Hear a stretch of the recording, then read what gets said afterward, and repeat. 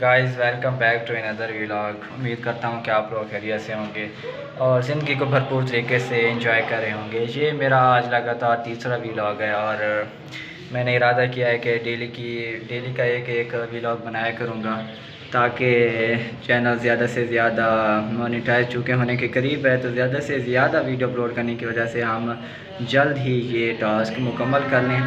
तो वीडियो को शुरू करते हैं बिना किसी रुकावट की और गाइस आप मेरे हाथ में ये देख रहे होंगे, ये एनर्जी सेवर है, उस दिन लेके आए थे। तीन चार महीने पहले लेके आए थे।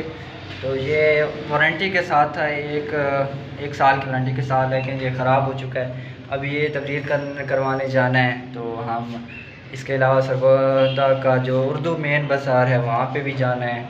तो हम वहाँ पे भी इसके अलावा उर्दू बाज़ार, सरगोदा का जो मेन बाज़ार है, वहाँ पे भी जाएँगे। वहाँ से एक बुक का पता करना है। तो वीडियो को स्टार्ट करते हैं। गाइस अभी हम गला मंडी में से गुज़र रहे हैं। गाइस ये गला मंडी है और ये सरगोदा में एक ही सबसे बड़ी और सबसे मशहूर दरी अजनास की गला मंडी है, जिसमें हर तरह की आपको अजनास मिल सकती हैं बासान ये गला मंडी का सबसे मेन और सबसे बड़ा गेट है। ख़त्म नबूत बाब।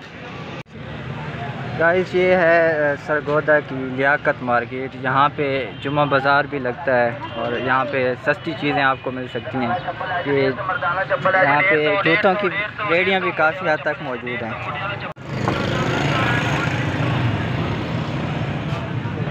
ये लियाकत मार्केट में काफ़ी इलेक्ट्रॉनिक्स की दुकानें यहाँ पे मौजूद हैं। यहाँ से हमने नहीं लिया था, बोला एक गली में से लिया था।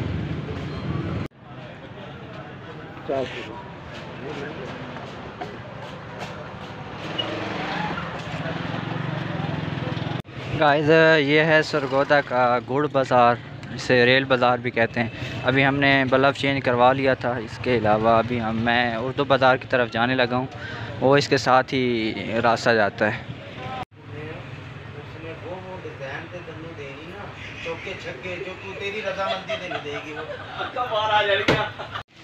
गाइस ये an apology for poetry literature की ये बुक मैं ख़रीद चुका हूँ और मैं अपने रिहाइश पे पहुँच चुका हूँ। काफ़ी दिन से टीचर कह रहे थे डांट भी पड़ रही थी।